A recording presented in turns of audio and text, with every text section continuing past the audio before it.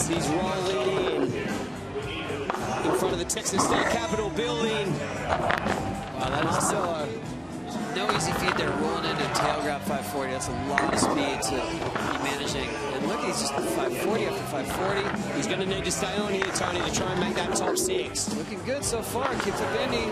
No, what's going on there? Oh no! Turned into it was it was supposed to be Indy 360. Took off wrong. Then he went for a double grab. Turned a 540. That's such a disappointment.